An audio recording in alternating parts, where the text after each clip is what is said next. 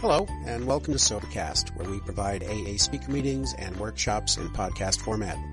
We're an ad-free podcast, and if you enjoy listening, please help us be self-supporting by visiting Sobercast.com, look for the donate link, and drop a dollar or two into our virtual basket. We hope you enjoy the podcast. Have a great day.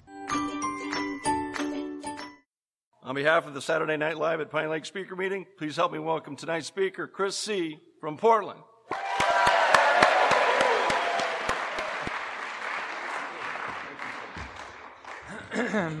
My name's Chris. I'm an alcoholic.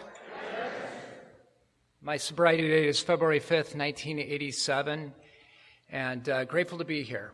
Um, you know, I'm uh, grateful to participate in my own recovery. I don't know if anybody will get anything out of anything I have to share, but I know that when I come and share honestly and share a little bit about who I am and where where I came from and a little bit of what I used to be like, what happened, what I'm like now, even if nobody else here gets anything out of it, I do. I get to continue to stay sober and get a little bit more of that fourth dimension. I get to go home and continue to live the way I'm living, which uh, I like. Funny thing about me is uh, I like who I am today, and I wouldn't trade per- places with anybody on this planet.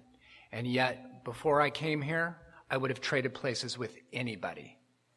So uh, I was introduced. I'm from Portland, but I actually live on the corner of North La Brea and Hollywood Boulevard in Los Angeles. So um, I'm kind of from Portland.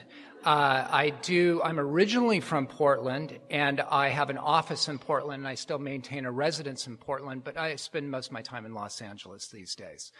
Um, which is good. I mean, I need to get. I, I live in downtown Portland in a in a loft, and I'm in the epicenter. I don't know if you guys have been following the news out of there, but our protests are not protests, they're riots. And I'm right in the heart of it. I, I need to get back to LA where it's safe. anyway, um, so uh, burn through the niceties. I, I want to thank Pixie for asking me to speak. And my understanding is she's not here tonight, right? Pixie's not here?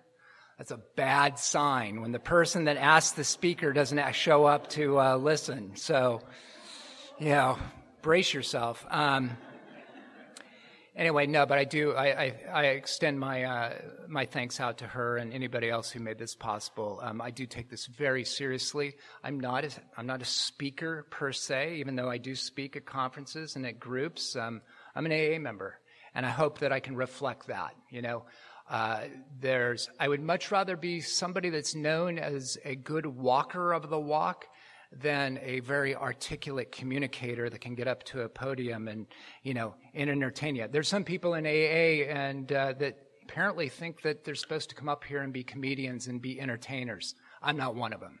So anyway, with that, a uh, little bit of what I used to be like, what happened, and what I'm like now. I drank for 11 years.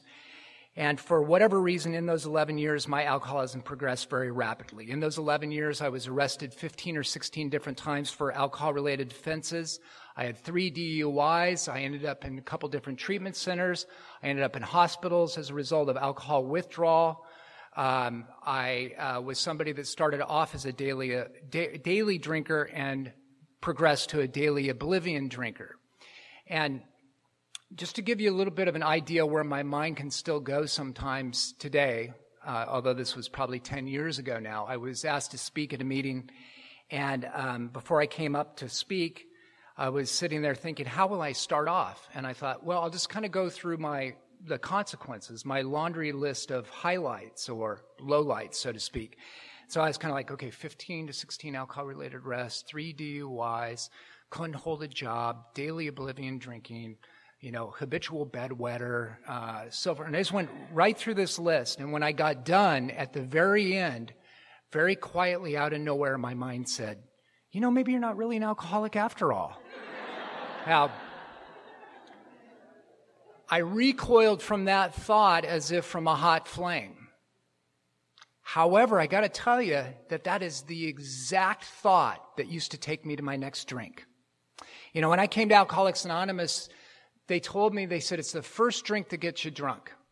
And I know what they meant by that. You know, that once I ingest alcohol, I have a, you know, I have a reaction and I lose control. But that's not the whole story with me. It wasn't the first drink that got me drunk.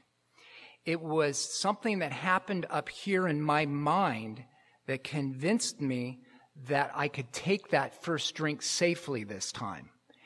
You know, the book describes it as the subtle insanity that precedes the first drink. And they talk about this mental blank spot, you know, uh, and, and that's what I had. I had this mind that despite the consequences, despite the pitiful and incomprehensible, demoralizing things I did, despite the fact that I was somebody that ended up getting the DTs when I'd come off of alcohol and would have to be medically uh, detoxed to come off of alcohol, despite the jail, despite the burning my life to the ground in every way, my mind would say, hey, maybe if I uh, drink this way tonight, I'll be okay.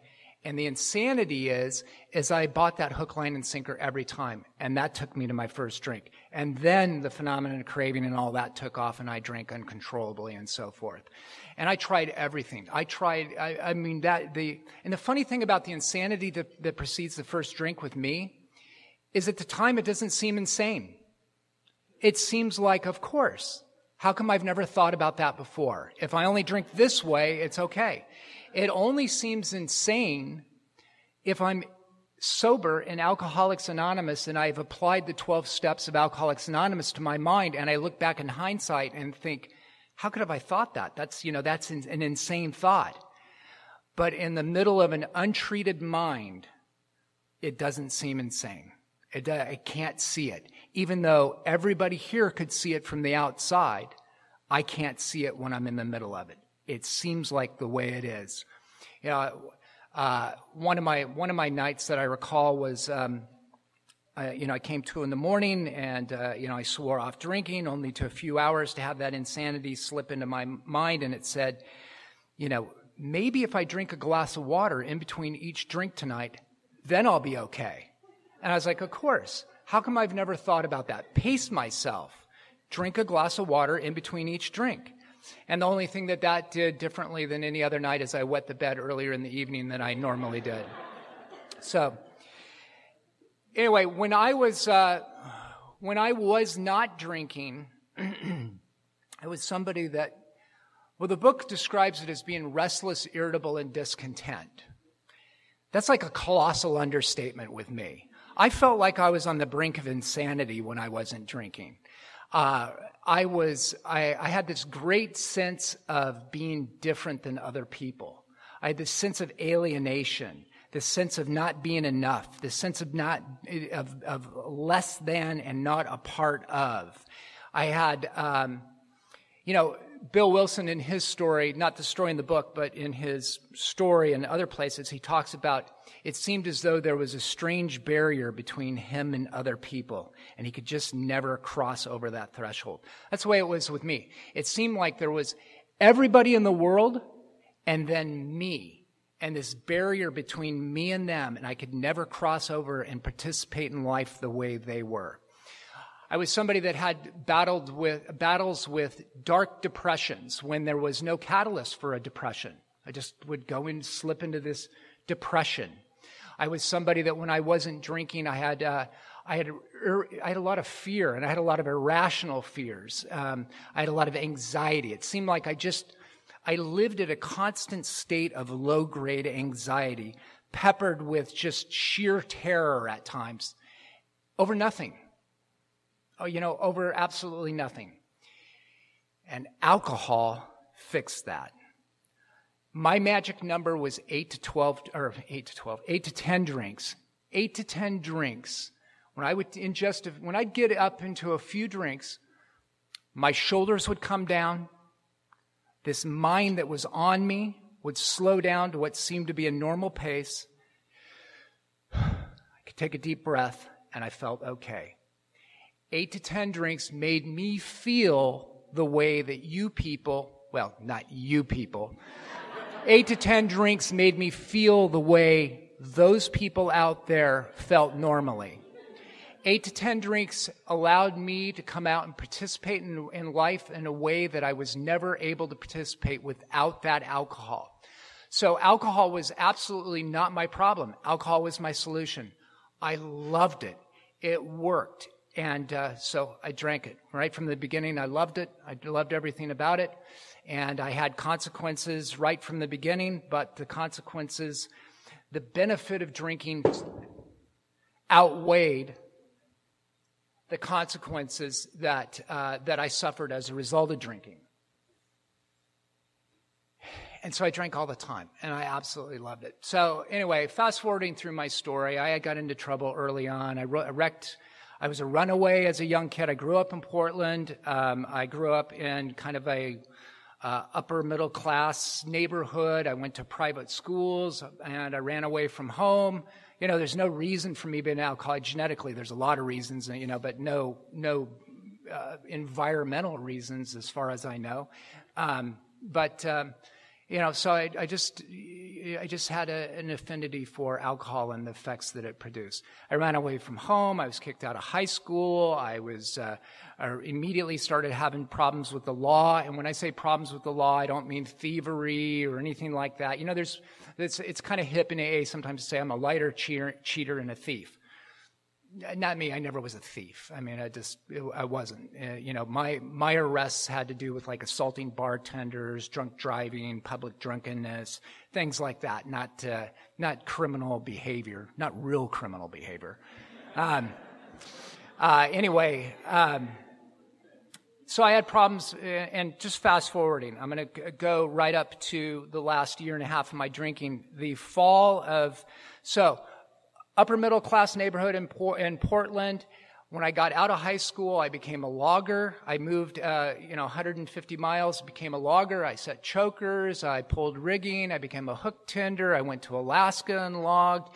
And uh, I did that. I, you know, I drank in, uh, amongst the professionals. These guys knew how to drink. And me as a, as a young guy, 18, 19 years old, was, uh, you know, stood out amongst the professionals as a, as a, as a drinker. Uh, fall of 1985, um, I was living in southern Oregon on the California border in Ashland, Oregon, and I was walking down the street and I was I was thinking about my life and where I was.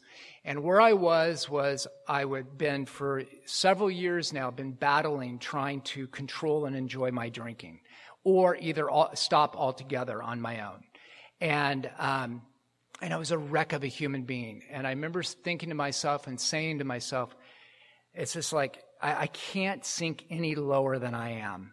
I, I am beaten. I have lost at life. I, I just, it, my life was over at this time in the fall of 1985.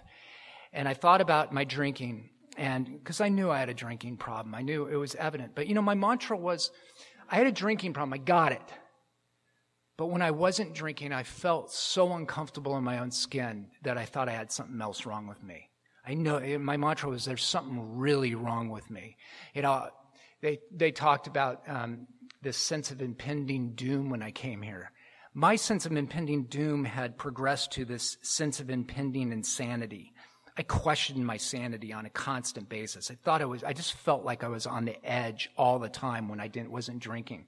And I've heard said, I don't know if this is true, but I've heard said that in some alcoholics, that actually drinking can actually preserve some alcoholic sanity, that without alcohol and without some sort of substitute, that they can actually snap. And I have no idea if that's true or not, but it's certainly the way I felt.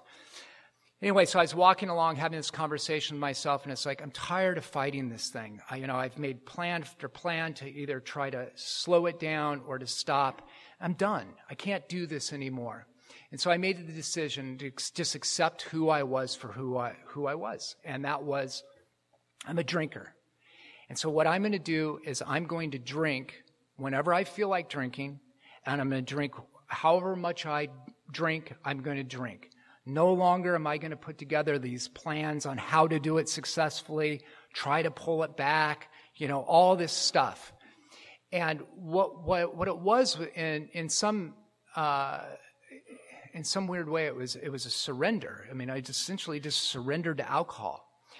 And so for the next three weeks, I drank to unconsciousness or blackout every day. And at the end of the three weeks, I thought, oh my God, am I going to be uh, ever be able to make this stop? And it was instantly replaced with the second thought. And the second thought was, I don't care because this is the happiest I've ever been in my life. because there was a freedom in that type of drinking that I hadn't experienced before.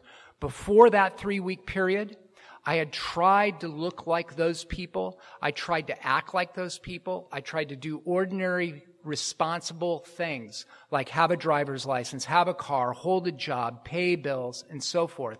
And in, in that three week period, what I did is I gave up at life and I surrendered my life to alcohol. And it was the best I'd ever felt. You know, when I came to Alcoholics Anonymous, you know, I used to think, I, I you know, I, I like some of us anyway. I had a lot of judgments of uh, other people in AA, and uh, one of the judgments was is I sat in rooms of AA and it was just like, you got a job. What are you doing here? You know, you have a driver's license. Why would you come to AA? You have a wife. Why would you? Why would you? You know, why would you come? You've never had the DTS. You've never had to spend six days on Librium to not go into convulsions and hallucinate from alcohol withdrawal. You're a drug addict. Why, why would you even come to Alcoholics Anonymous? And because I judge people that were functioning alcoholics. And what I found is that 90% of the people that die from alcoholism are functioning alcoholics. They're not alcoholics like me. They're the people that are paying their bills, that are going to work every day. And it was only a couple years later that I, I heard a story in AA uh, about a guy who was an attorney, and he talked about every day getting up in the morning sick, grinding it out till noon, and at noon racing over and taking a few couple belts just to take the edge off, and then grinding it out throughout the afternoon, and then started and then drinking in the evening. And he did it day after day after day after day. This whole time holding up this image of that he is a responsible citizen. And I was like, oh my God, I have it completely wrong those people, that kind of alcoholic has it so much harder than me because I gave up. I looked like an alcoholic. I, I didn't do, I didn't, I didn't work from that day forward until I got sober, except for little tiny pieces time. I gave up. And there's a, there's a freedom in that. Anyway, not to get off on that crap. Um, so, anyway, uh, and so what happened is there was freedom, and I started to drink. I became a daily oblivion drinker and that uh, you know i've heard said that alcoholism is the only progressive disease that has a fun phase. And that was that was my fun phase. But it was it was short lived soon after that the problems started stacking up again and one more time i'm fighting alcohol. And my my days became like groundhog day. Every morning i'd come to i'd be sick and uh, i mean just horribly sick from the night before I would, uh, I would have the shakes in the morning, and I would have, you know, I couldn't determine, I never was able to determine between hot and cold because I had, I would be sweating, freezing, and I'd have these internal tremors in the morning where I'd go like this, and I'd shake, and I would just be so full of shame and guilt and remorse regardless of what I did the night before. I might have done some despicable things the night before, or I may, may not have. It didn't matter. It was irrelevant. It was shame, guilt, and remorse were my constant companions when I came to in the morning. And then I'd sit there and wade through that sickness in the morning, and then I would come up with the resolve. Today's it. Today's going to be different. I'm done. I'm not drinking. That's it. It's killing me. I'm changing my, you know, changing my life going forward. And that'd last about maybe one, two, three hours. And then somewhere after time period, something would slip in my head and it would say, Hey, maybe if tonight, if you only, you know, if you only drink beer or if you only, you, you know, stay away from uh, gin. Gin makes you violent. You know, drink something besides gin, then you'd be okay. And I would go, that's it. And bam, I did it. And I did it day in and day out, day in and day out. June of 1986, I wound up in a um, medical detox that was attached to a 28 day inpatient treatment center. I did, uh, I did the uh, inpatient or did the detox. And, and I'll tell you just to give you a, an idea of how sick my mind was. Um, I went in there because I was going through the DTs, and most alcoholics that come to Alcoholics Anonymous don't have the DTs. I mean, yeah, it's it's not a. Some alcoholics, a minority of alcoholics get DTs. Most alcoholics don't. So if you're new, don't worry if you didn't have them you missed out, but you didn't. Uh, anyway, um, I was I tried to wean myself off of alcohol, and on the third day of weaning myself off, I started hallucinating. And um, the hallucination I saw was a rodent attacking me in the bed. And uh, so I checked into a detox. They pumped me full of Librium. I stayed for five days on the Librium. That's after three days of detoxing myself. And I'm laying there in my little detox robe and detox slippers. And there was guys that were significantly older than me and had been drinking a lot longer than me that would come into this detox, you know, and they were in their 60s or 70s. They'd see snakes coming out of the wall. They'd be there for like two days, and then they'd eject them into the population. And I'd be like, why are they holding me in this detox? These guys, they're ejecting. And then it hit me. They're trying to make me think that I'm a worse alcoholic than I actually am. So they're purposely holding me in detox longer. And I bought it. And the other thing I bought as I was sitting there uh, going through uh, withdrawal is I thought about being attacked by the rodents in uh, my bed. And I thought, you know, did I really have that hallucination? Or was I so concerned about going into the DTs that what actually happened is I drifted off to sleep and had a dream that I was being attacked by rodents, and I didn't actually hallucinate. It was just a dream. And I, I, so maybe I'm not as bad as I think I am. You know, because normal drinkers try to determine whether they are dreaming about DTs or actually experiencing DTs. Anyway, um, uh, I was introduced to Alcoholics Anonymous. I was introduced to Narcotics Anonymous, and uh, I was introduced to the steps and nutrition and physical exercise and all sorts of stuff in this treatment center. I got out of there, and uh, and I drank. I think it was like two weeks after I got out of there, and uh, you know I was drinking again, and um,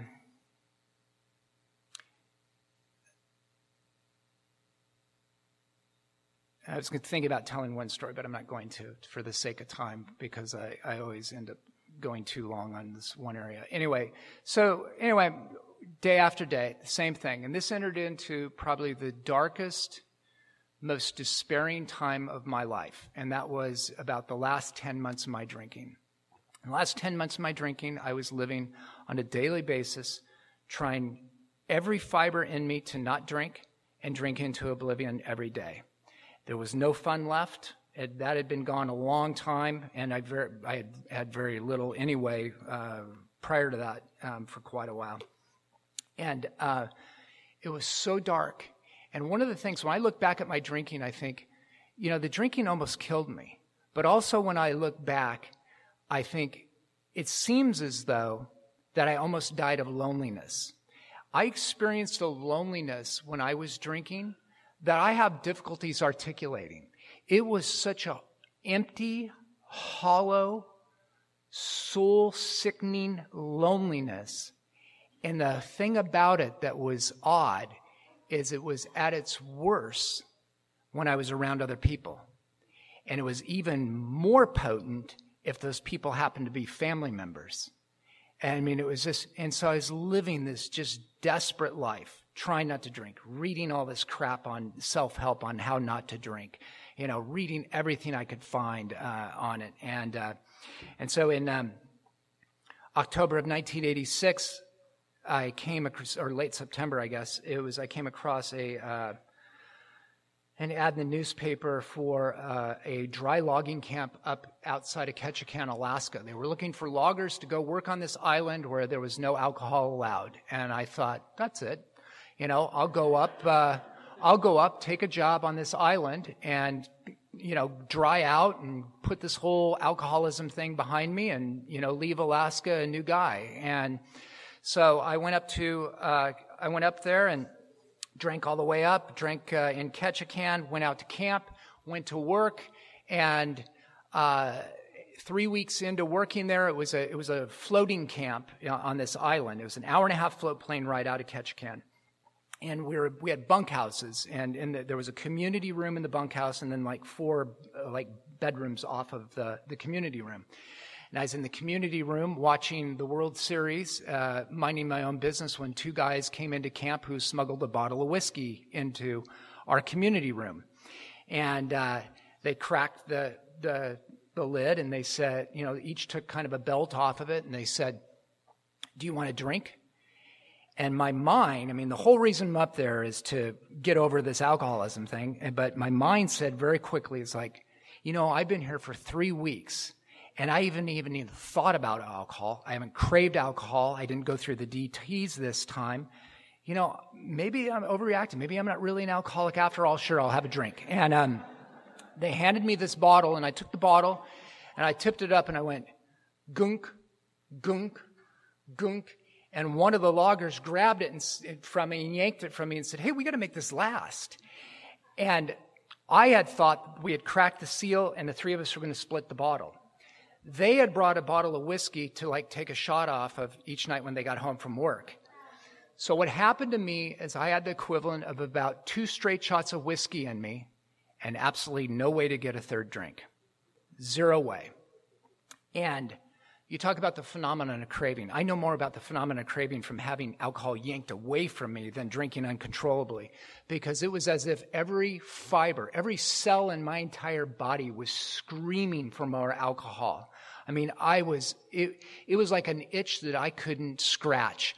I was dying from the inside out wanting more alcohol.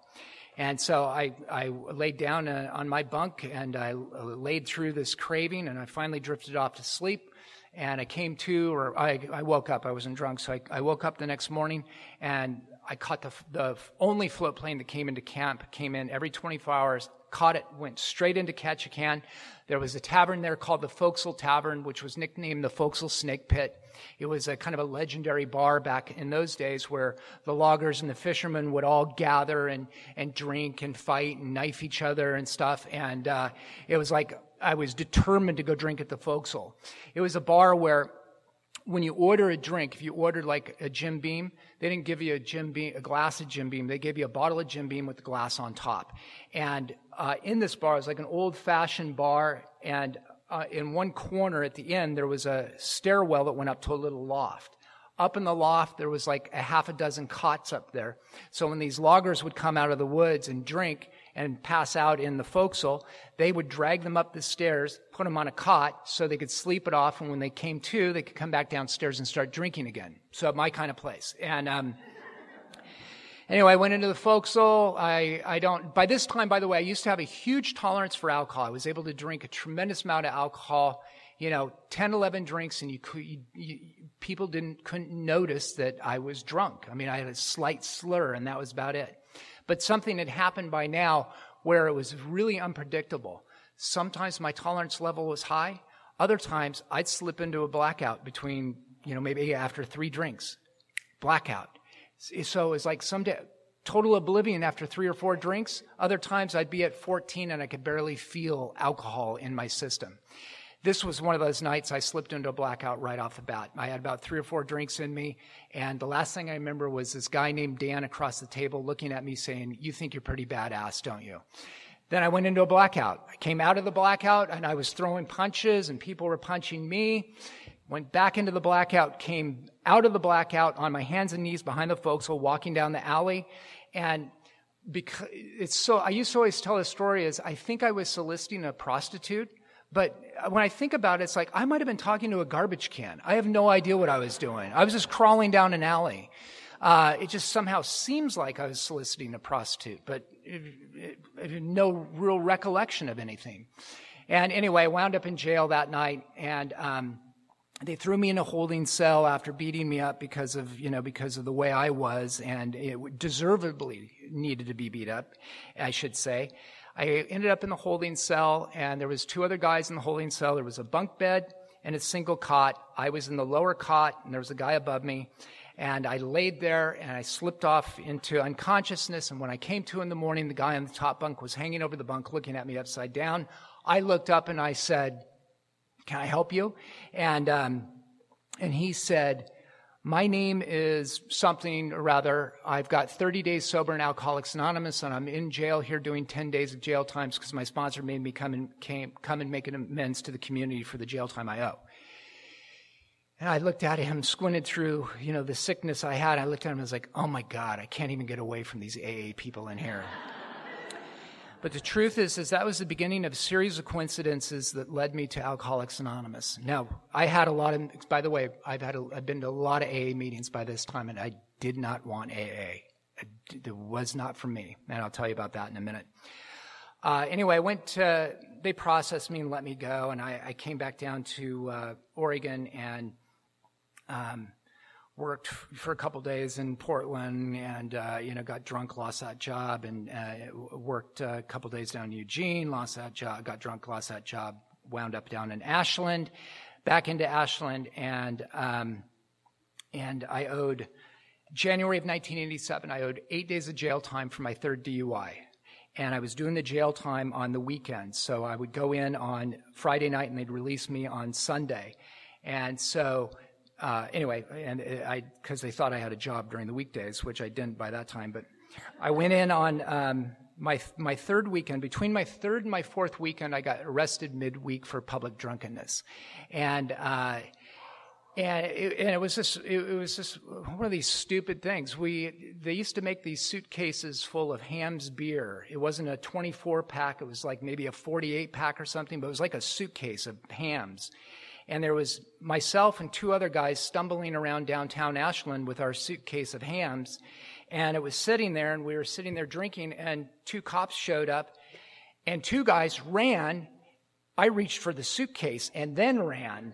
And so they caught me. And, um, and anyway, they, they arrested me. And, and as they were lecturing me, they, they, they knew who I was by this time. They said, you know, they said, Chris, they said, you've got a hell of a drinking problem. You've got to do something about your drinking. And in trying to get out of the rest, I was like, yeah, sure. Uh, you know, I, I know that. I need to do something. And they said, go see this guy, Joe F.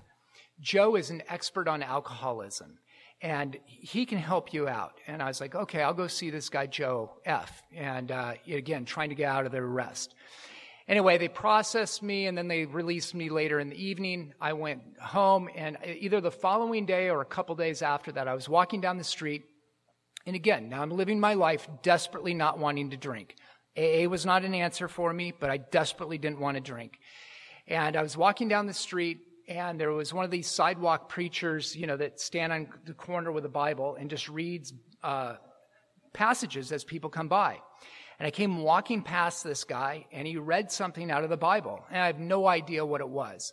But he read something and when he said it, it somehow seemed to correlate with the cops telling me to go see this guy, Joe F. And I thought, you know, if I was one of those AA people, I would think, ooh, that's the hand of God and work in my life. And that's like an intuitive thought or inspiration. And I should actually go see this guy, Joe F. And I took a couple more steps and then I had just a real brief moment of clarity. And the moment of clarity was this. And it said, what if for once in my life I didn't dismiss that stuff as being trivial and stupid and I actually acted on it even though I don't believe it? And then I thought, what do I have to, you know, what do I have to lose? And I turned around and I started heading to this guy, Joe F's office. And I went up to Joe F's office and, um, and my plan was I was going to go to the Schick Center, 10 days, couple two day follow ups. That was my next uh, treatment center. And I was waiting for Joe. His secretary went and said that I was here, that I was there for a drinking problem, because I did. And I was, I was remember sitting there thinking, please not AA. Please tell me you went to Schick you know, and you're sober like 10 years and everything's wonderful. And uh, anyway, sure enough, he's a member of Alcoholics Anonymous. I go in, he tells me a little bit of his story, and then invites me to a meeting. And he said, "Do you want to go?" No, everything in me didn't want to go. I've been to AA. You know, I, I don't, I didn't shoot heroin. I don't belong in AA. You know, I mean, that's not, that's not my, that's not my story. I'm an alcoholic, and, um, and so, uh, I didn't want to go, and but I there was I had this sense of obligation to go since I asked this guy for help, and I said, "Yeah, sure, I'll help." So he took me to the Clay Street meeting of Alcoholics Anonymous on Thursday night in Ashland, Oregon. I walked in, there was people there that greeted me. I went and I sat in the very back. It was a meeting of about 60, 70 people or so, speaker participation.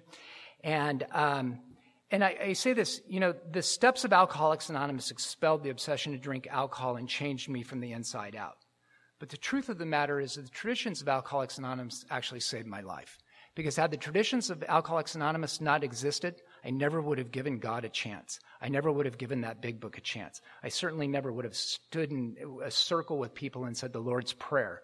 or anything else. But because of the traditions, something happened to me that made it okay for me to do that. And what happened to me is this. I sat down there and, and I, I knew I was an alcoholic. So I raised my hand and said, yes, I'm a newcomer. And what they did is they created an atmosphere of identification. Now, see, what happened to me is prior, because I'd been to about 30 AA meetings by this time. And every AA meeting that I'd been to prior to this time, there wasn't really any semblance of traditions.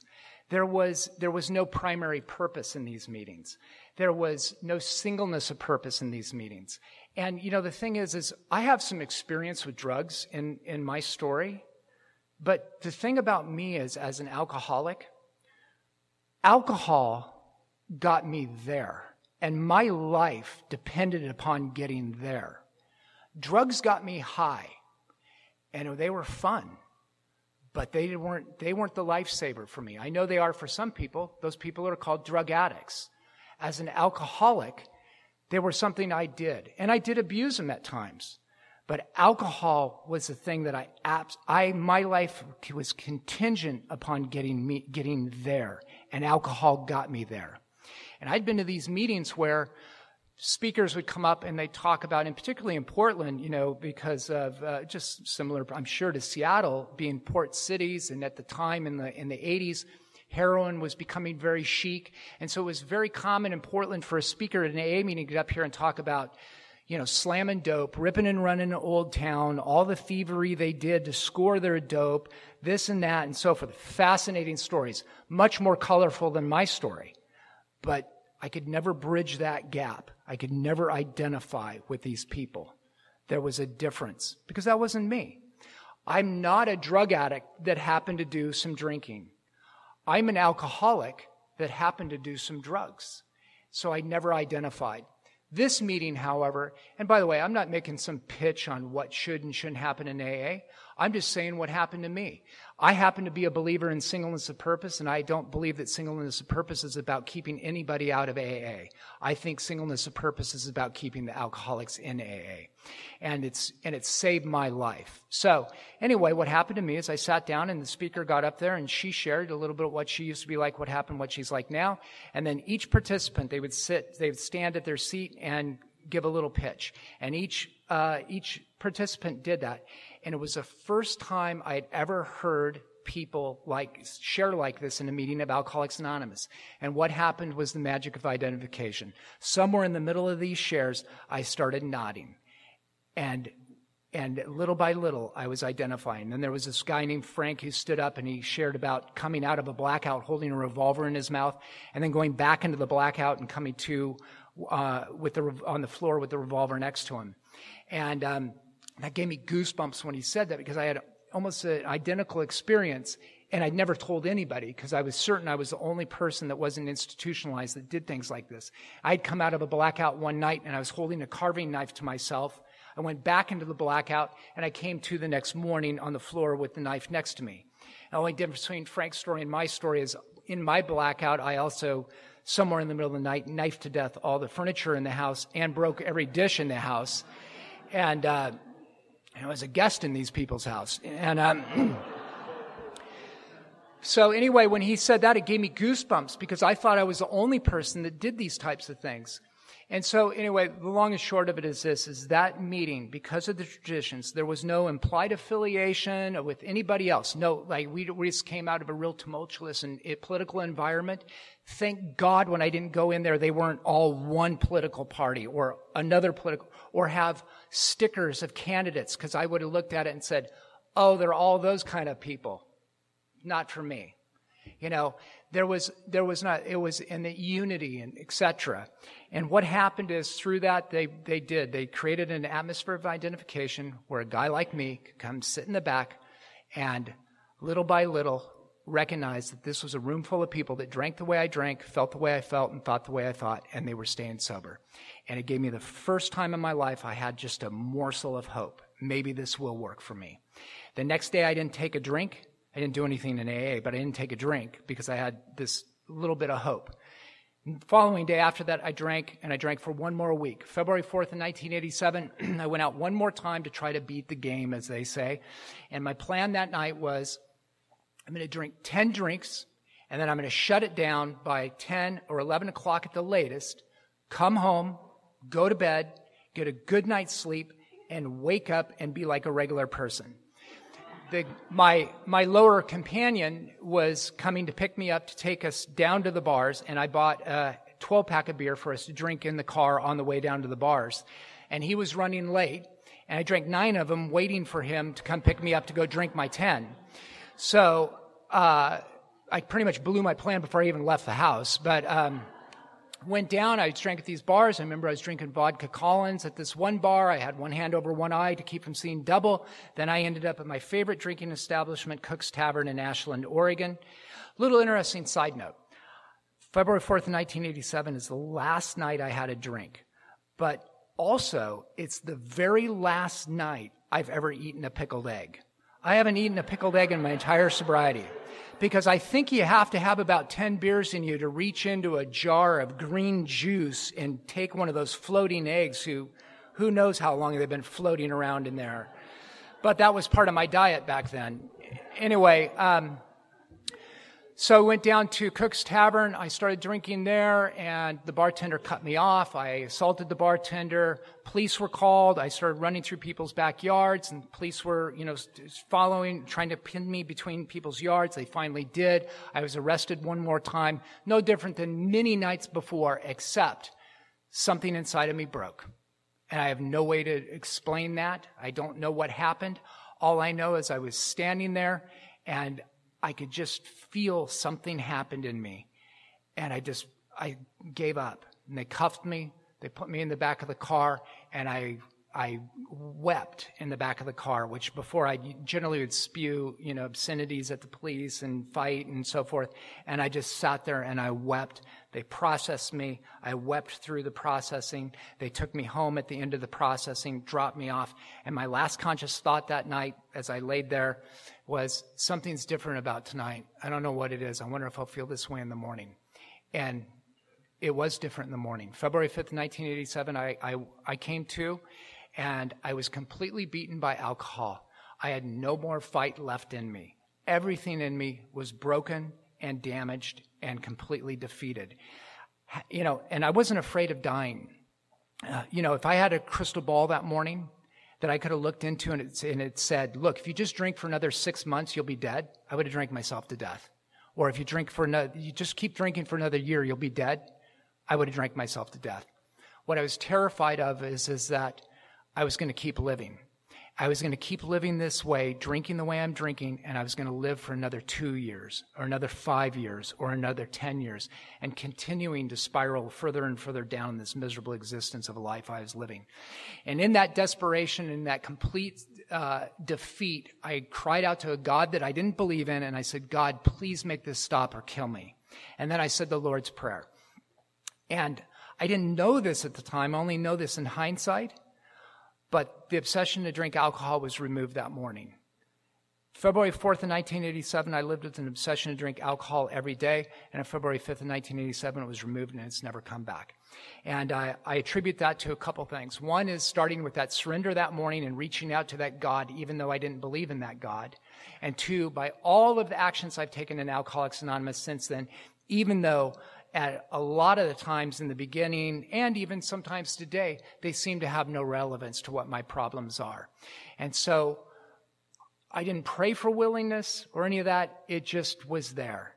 And because of that one Alcoholics Anonymous meeting that I'd been to where there was a primary purpose in place, I knew there was a place like me where people that drank like me were staying sober. And I checked myself into Alcoholics Anonymous and I started doing the things that they started doing. Went to 90 meetings in 90 days. I started reading the big book. I got a sponsor, started working the steps. I started praying to a God I didn't believe in. And, uh, when I was new, you know, they were, they were very adamant. They said, they were, they pointed the chapter We Agnostics where it says, it says just a willingness to believe is enough to make a start. You don't have, you know, that's all you have to do. And, you know, a lot of people would say, fake it till you make it. And one guy put it in a way that I really liked. He said, you don't have to believe in God to make a start in this program. You just have to take actions as if you believe in God. And I thought, that I can do. I can take actions as if I believe in God, even though I don't. And so I started doing that. And one day after another, I was continuing to stay sober. And, um, and soon after that, things started, my life started falling into place. All my life, I seemed to be like a square peg trying to fit into a round hole. And it was starting to, and for once, it, I wasn't that way. It was actually working. And uh, I came across that line in the big book where it says, Our ideas did not work, but the God idea did. And when I saw that, I was like, Yeah, it's exactly where I'm at. My ideas never worked, but the God idea is working. I'm not sure if I believe in God, but it's working. And so through that, that, that, just that little bit of effort to act as if, I came to believe in a power greater than myself. Not because I wanted to believe, but because the evidence started stacking up that something was at work much larger than me in my life. So anyway, fast forwarding, I did steps one, two, and three, and, uh, and my life was for the first time ever, I was living a life. But I stopped. I didn't go on into my four step. And uh, even though my sponsor and everybody in the group kept saying, get your four step done, get your four step done, get your four step done. And so somewhere around six or seven months, and by the way, just for the new people, I just want you to know, I wasn't somebody that came into AA and said, oh my God, I'm home. You know, this is it. I, I love these people. I hated these people. Hated them but it was working, so I kept going. And I hated this stupid stuff. Keep coming back. I mean, it's just, but, and I, and I grew up in a religion and, and where I just found the Lord's Prayer so offensive. And, but you know what? The people that were staying sober were saying the Lord's Prayer. And they were saying, keep coming back. It works. So I did as they did. I didn't have any fight left in me.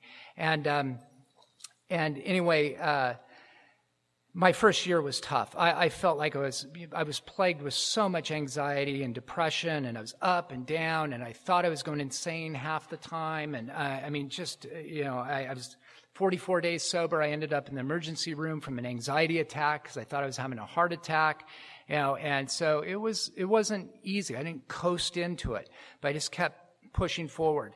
Anyway, by the time I got to be about nine months sober, I was just coming apart. What once was good and the foundation I built through those first three steps and the actions I took was dissipating. And little by little, I was becoming tighter and tighter. And the anxiety and the depression and everything. And I'm just, I'm just going berserk in sobriety. And, um, and just I'll give you an idea of, of where I was. I, I entered in college by this time, uh, back went back to college at, by this time, and I was taking a handful of classes. And one of the classes I was taking was a psychology class, and it was a it was a large auditorium class, large being like about this size. And we one day we were studying stress and the effects of stress, and the professor had us do this this test, and we, we all took this test. It was kind of like a mini version of the uh, MMPI. And uh, so I took this test and I answered everything honestly because I'm now in AA and I'm being honest. And I, I take these, and then we self graded. And so I sat there and I self graded my test. And after the class, the professor says, Who here in this class scored between 0 and 25? And there was like two people in the class. And he said, You people have literally zero stress, or you process stress so well that, you know, it's, it does, it's like water off a duck's back, is what he said. Who here scored between 25 and uh, 50? Almost the entire class. He said, You people don't have any major stressors in your life and you process stress in an average fashion. This is, you know, this is the average. Who here scored between 50 and 75? There was maybe 10% of the class that raised their hand. And uh, he said, You people have a, you know, either you're just not very good at processing stress or you have a certain level of uh, stress in your life that's affecting you, maybe some minor stressors. Who here scored between 75 and 100? And there was like two or three people that raised their hand. And he said, You people have a significant stressor in your life death of a loved one, loss of a job, financial, uh, you know, ruin, you know, something like that, a divorce, so, something significant. Who here scored between 100 and 125? Nobody. Anybody with uh, over 125? Nobody. And he said, I didn't think anybody in this classroom would score over 125 because generally people that score over 125 are either locked up in federal penitentiaries or institutionalized. Now I scored 146. I just, I just wasn't going to raise my hand and be the only one. And, um, and so he, he just confirmed what I knew all along. Yes, I'm an alcoholic, but I'm also completely insane. And I just was proven in a psychology class. So as soon as the class was over, I went down to see the uh, professor who happened to be three and a half years sober in Alcoholics Anonymous, and he was in my home group. And I went up to him and I said, Doctor, I said, I scored 146. And, uh, and he said, Chris, he goes, look, anybody, anybody in their first year would score over 125 on this test. He goes, that's, you're suffering from untreated alcoholism.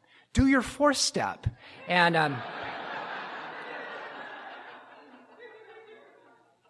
and I walked away from that meeting thinking about that and I thought, no, that can't be it. But driven by pain, a few weeks later, um, I, out of just pure terror that I was going to drink again or go insane, I started writing my four step and I wrote my inventory.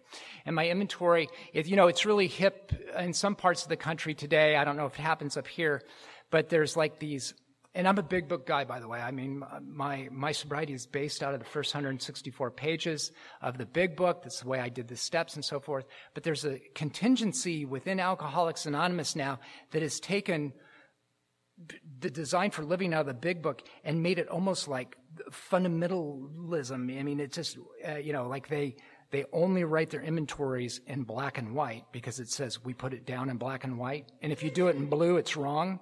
And, um, and when they do steps uh, six and seven, they say, we took this book down from a shelf. So they all go put a book on the shelf so they can actually take it down. Anyway, not knocking their programs. I mean, I'm, I'm kind of coming close, but I'm not knocking them. Um, but the, uh, anyway, I wrote an inventory and to this date in Alcoholics Anonymous, you know, I'm a couple months shy of 30 years of sobriety. I've written a lot of inventories, and I've done some really good inventories with the columns, you know, and, and the right terms and everything. This inventory was not one of them. This inventory was a mess. I don't know how many columns. There might have been seven columns in this inventory. And it was just page after page of garbage. And it, I mean, to date, it was the most disorganized, sloppy inventory I've ever written. But I'm here to say, to date, it's the single best thing I've ever written in my entire life because I did it completely from the heart and not from a book trying to get it right. And I, I wrote this thing out of desperation. I got together with my sponsor and I read it and, um, and after we did it, before he gave me the instructions to go do step six and seven, we took a break. And I went into the restroom uh, on our break. And one of the things that I was in the habit of doing at this time is whenever I was in front of a, uh, reflective surface, is um, is uh, uh um, I'd get trapped in it. And um, and I'd look at myself and, and I would wait for this reaction. And this reaction was not like an intellectual process. It was like a soul type of process. And what the process was, was I'd stand there and look at myself in the mirror and I'd tear myself down and I'd beat myself up. You know, this is what's wrong with me. This is what's wrong with me. God, this is what's wrong with me. Get, oh, man, look at, you know, this and on and on and on. Sometimes I would have a response where I'd look in the mirror and I'd have just a flash of like false bravado. And I'd be like, this is what's right with me. This is what's right with me. And it was short lived because soon during that laundry list, I'd go right sinking back down and be like, no, God, I'm just, it's not that way. And, uh, anyway, I did my fist step we took a break. I went to the restroom. I went to the mirror and I waited for the reaction that I got every time I looked in that mirror. And I stood there looking at myself in the eyes and it didn't come. And then a different sensation came and I couldn't identify what the sensation was. And I looked and I looked and I was like, what is this I'm feeling? What is this? And then it hit me. It was comfort. I felt comfortable. And that doesn't, may not seem like a big deal, but it was a big deal to me because it was the first time I'd ever felt comfortable in my own skin without a certain amount of alcohol in my system. And I walked out of that restroom, got my sixth and seventh instructions, went and did it, and I became a believer in Alcoholics Anonymous as a design for living because what happened to me somewhere between steps four and step seven, trying to avoid insanity and a drink, somewhere and taking these actions with just a shred of hope that they might work, I shifted on the inside and I've never been the same person since. And I never anticipated it. There's a, on page 75 in the book, between five and six, it talks about some of these things. Uh, you know, it's some promises, similar to the promises that were read uh, at the beginning of the meeting. I didn't even know that was in the book. I came to that later and I was like, that's almost exactly what happened to me. Something shifted in me, and I've never been the same human being since. I believed in Alcoholics Anonymous in terms of expelling the obsession to drink alcohol up to that point, but this is where I became a believer in Alcoholics Anonymous and as a design for living. And anyway, going forward, um, it was easy for me to do steps eight and nine by that time. Steps that I dreaded prior to this, now I, I was looking forward to because I got so much juice out of, out of taking the steps. They changed my life. I was somebody, I should tell you, that when I was not drinking, I couldn't look people in the eyes. In fact, if I was walking down the street, I had such terror, so, so much fear of people. If I was walking down the sidewalk and there was somebody coming the other way, I'd cross the street and go down the other side just to avoid eye contact with another human being. You know, unless I had 10 drinks in me, that's a different story. But if I wasn't drinking, I couldn't do it. And, uh, and I changed. And uh, so I went through the steps. And I'm just going to kind of fast forward since uh, I've, uh, I'm starting to get towards the end here. Uh, my life changed. And two and a half years sober, um, I got sober in a group that was really emphasized the big book and it really emphasized uh, reliance on a higher power and not only just reliance, but but direction from that higher power. And it was we were, they were really big on not talking the talk, but walking the walk, and really living a God-directed life. And so I had a lot of instruction from my sponsor in the group about living a God directed life. Uncommon sense would become common sense. We developed this vital sixth sense that that's where all this was at. And I started living that way.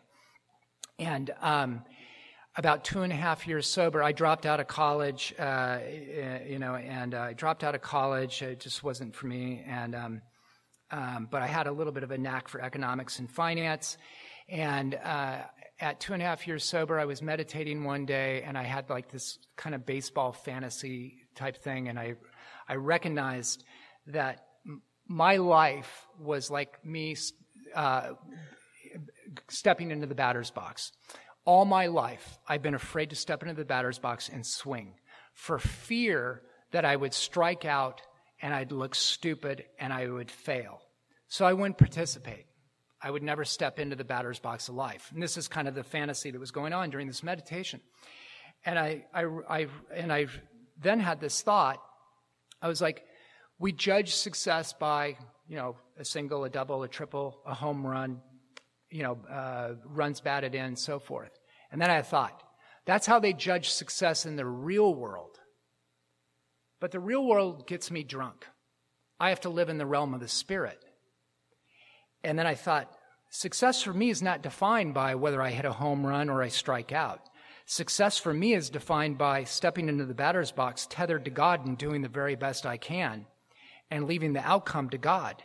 The only failure I can have is not stepping into the batter's box in the first place. The moment I step into the batter's box and swing, it's success. I use, and this was the analogy. I'll just tell you, my dad played pro football and pro baseball. My brother played Major League Baseball, and I got drunk and went to jail a lot. So, I, but I still have baseball analogies. Anyway, so I recognized I lived my life that way, and I came out of there, and, and from there, I used that as an intuitive thought or inspiration and took actions on it. And the funny thing about intuitive thoughts and inspiration is they never have a neon sign saying, This is an intuitive thought from God, you better do it. It's like this very subtle thought, and I think, Is that like an intuitive thought? And then I think, No, no, it's not. That's, I'm just manufacturing that so I can go talk about it at an AA meeting and sound cool, you know, or something like that. And so what I've had to do is I've had to get out of when I have what seems to be an intuitive thought, I have to act on it regardless of what the other voices in my mind say. And I did. So I hustled a job as a stockbroker. I became a stockbroker as somebody that couldn't look people in the eyes, who, you know, drank and went to jail and, uh, and not that AA is about becoming, you know, successful or anything like that, but AA is a platform where I believe we can go out and live our lives in any way we want, provided we're following a spiritual life. At two and a half years sober, I became a stockbroker. At five years sober, I started my first firm. And, uh, and I, by the way, I hated being a stockbroker. I only did it because I owed financial amends. And I heard Chuck Chamberlain say, I'm just going to go in every day to rub out a record. And once that, rub, that record's uh, rubbed out, I'm out of here. And I did that because the stockbroker was the most efficient way for me to pay back my amends. And I did that. I'm here to rub out a record every day, a job I hated. Then, two and a half years later, after I started that job, I started my first firm. I was starting to kind of like it. Then I ran that firm. I was CEO of that firm for about 18 years. I started a fund family, a second firm, and I now started. I have. I'm the chairman of the board of a national investment boutique investment bank that myself and two partners started. And I'll tell you how that came about uh, because it was all God based as well. And um, through intuitive thoughts. And so, in acting on God reliance, I married the girl I always wanted to marry at five years sober. Well, she's uh, 23 years sober uh, in Alcoholics Anonymous today. And, uh, or no, we've been married 23. Well, whatever. She's been sober a while and we've been married a while. Um, anyway, uh, in the mid 20s. And, um, and, uh, and it, it had nothing to do with me. I just took footwork, and my life has been that way. I'm here to report that when I've acted on an intuitive thought, regardless of how goofy it may seem, uncommon sense becomes common sense. So far to date, I'm batting a thousand percent. And I want to share this. In 2010, 2012, um, I was working in San Francisco and I was shutting down the office I was working in and I was looking to start a firm. My two partners are in New York. I'm in San Francisco, but I decided I'm going to start the firm in Los Angeles.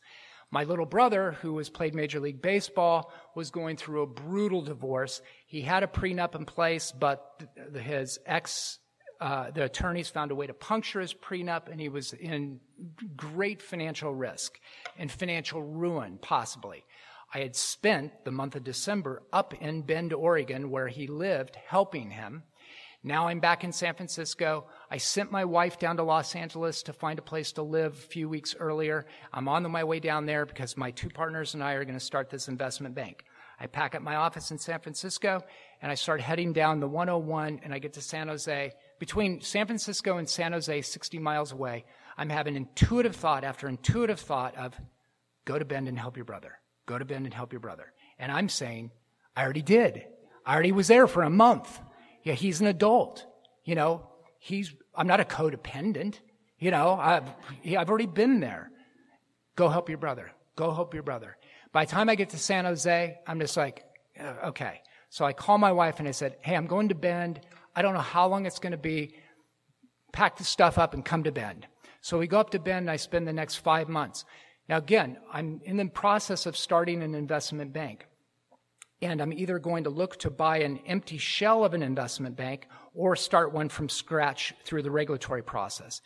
And for those of you that don't know a lot about investment banking, I just want to tell you that Bend, Oregon is not exactly the investment banking center of the United States. For that matter, Portland and Seattle aren't either, but Bend certainly isn't. And so, um, Ben's, you know, I'm putting my life on hold to do this. And uh, so I go up there and, and I help my brother out and I do what I'm supposed to do.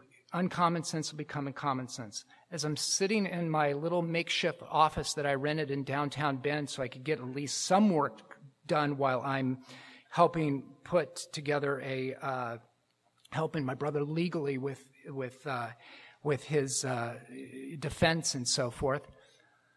I end up putting together an investment bank out of Portland. Uh, one came available that was 40 years old and it just like it fell into place and it was perfect. I called the guy that owns the place. It's got a great reputation on Wall Street.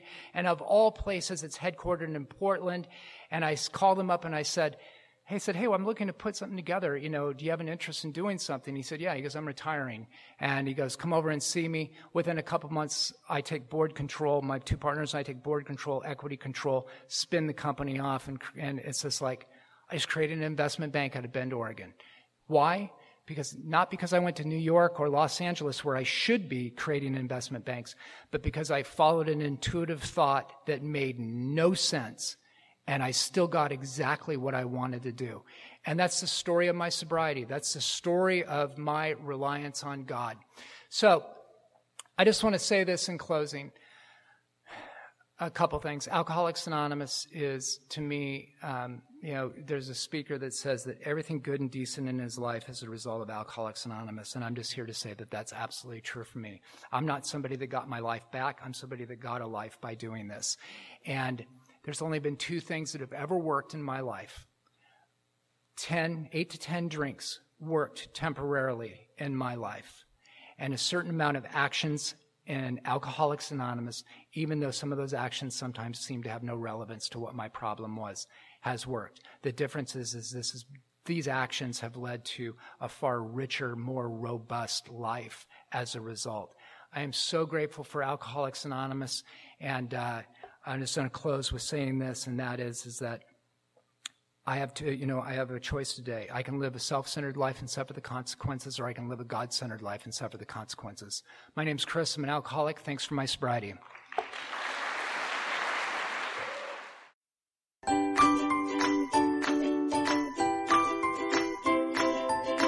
Thanks for listening. I hope you enjoyed the podcast. Sobercast is ad free, and we'd like your help in order to keep it that way. So if you'd like to help us be self supporting by pledging a dollar to a month, visit Sobercast.com and look for the donate links. Thank you very much.